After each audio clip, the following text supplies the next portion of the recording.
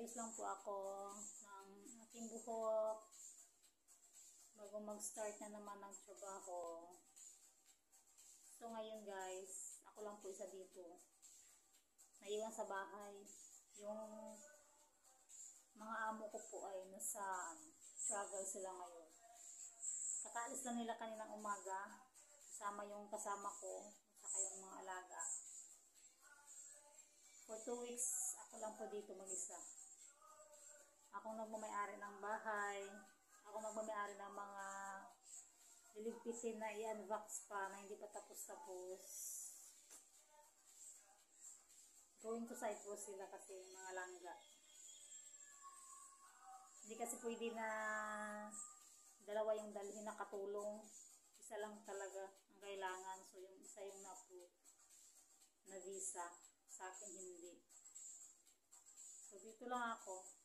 Maglinis, arado, mag-unboxing ng mga box pa na ang dami pa rin nakatambak sa lawas.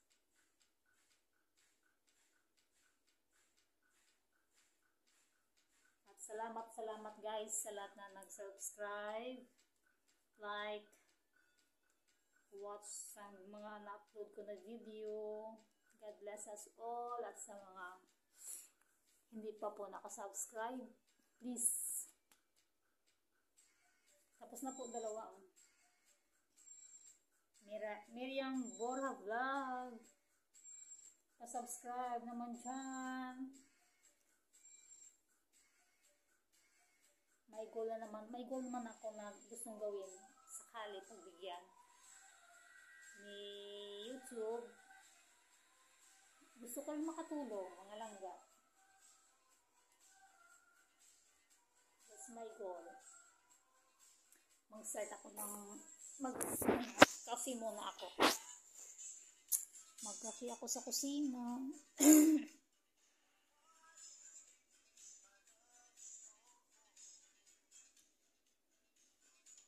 so, ang ganda sana kung may music. Doon naka-charge yung phone ko na isa.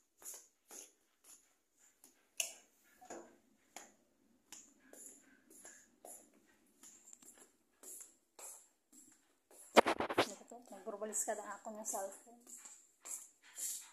Oh. Sobrang kalat pa to ng kusina namin, oh.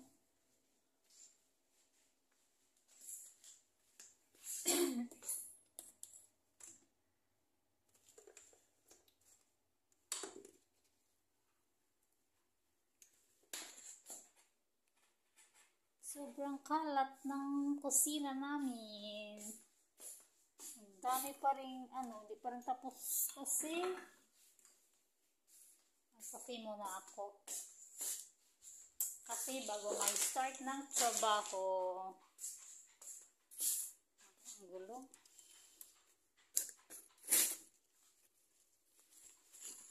Ang gulo ng kusina.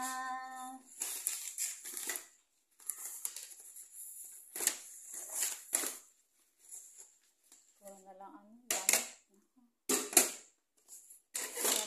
gamit. Gamit here, gamit there, gamit everywhere. Magawa ko ng coffee mga langga.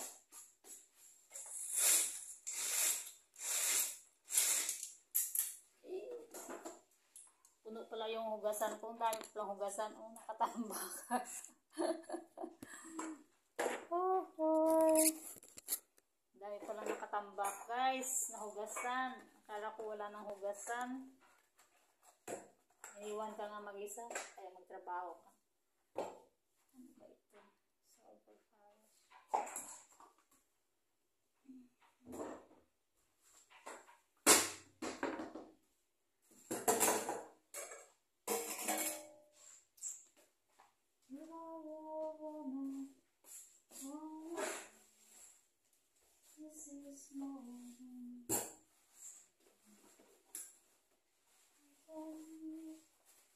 Hugas muna sila. Pagkasura na nila.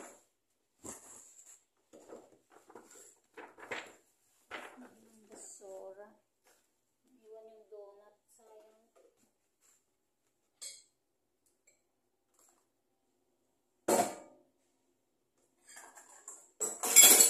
tambak lang hugasan di mga langga.